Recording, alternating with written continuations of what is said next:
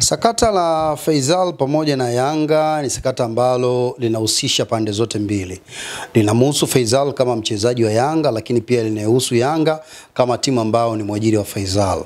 Ukisikiliza upande wa Faisal jinsi unavyozungumza, yeye akiwa kama mchezaji, kuna hoja ambazo anazitoa ambazo mtu yote ambaye ana akili timama akikaa akafikiri ataona kwamba kuna sababu ambazo anazungumza, lakini pia ukisikia upande wa pili ambao ni Yanga ambao ni wajiri wake na wana hoja ambazo wanazungumza wakitoa baadhi ya vielelezo kwamba mkataba bado na mchezaji huyu bado upo na uko valid mpaka mwaka 2024. Kwa hiyo wote wana hoja, ingawa hoja zao je, zina kisi na kile ambacho nakizungumza.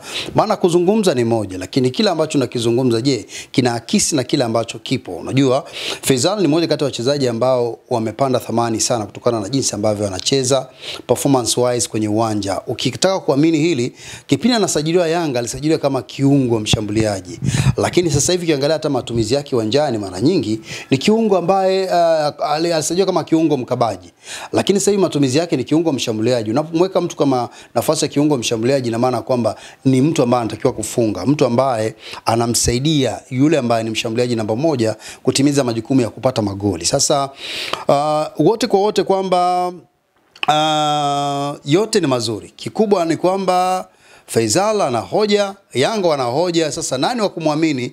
Ni mpaka hapa jitokeze, wanasheria nao wajitokeze, watuambia kwamba hiki kiko vipi. Ukiangalia msimu ambao alisajiliwa baada ya kumaliza ule mkataba wa awali, akaongezewa mikataba mkataba wa miaka minne, alisajiliwa kwa milioni mia moja kwa utaratibu ambazo tumeona baadhi ya nyaraka ambazo zinasambaa mtandaoni, na ule mkataba ulikuwa na milioni mia moja na akawa analipwa mshahara milioni nne kwa mwezi. Sasa kuna kipengele ambacho wamekiweka kwenye kanuni zao kwenye mkataba kwamba akitaka kununua ama kuvunja mkataba lazima atalipa zile fedha ambazo ni signing fee na pia hiyo mishahara ya miezi mitatu. Inachoonekana kwamba Faisal amefanya hivyo, lakini Yanga hawataki, wanasema bado thamani yake tofauti na hiyo ambayo ipo sasa. Ukiangalia katika jicho la ziada, unaona kwamba Yanga kama viongozi, kuna tatizo ambalo lipo, wana wahadaa mashabiki wao kwa sababu wanajua sakata la Morrison lilikuwa hivi hivi, mwisho wa siku unaona ikawa tatizo. Morrison tuliambiwa kwamba ana mkataba miaka miwili, lakini mwisho wa siku Morrison akaenda, kesi ikaenda mbele, Morrison akashinda. Kwa hiyo mimi nadhani ifikie hatua viongozi wa Yanga wajisahihishe katika masuala ya mikataba, kama wanaona kwamba inakuwa vipi, wao wana wana wataalamu wazuri. Kuna wakina Alex Mgongolwa wapo,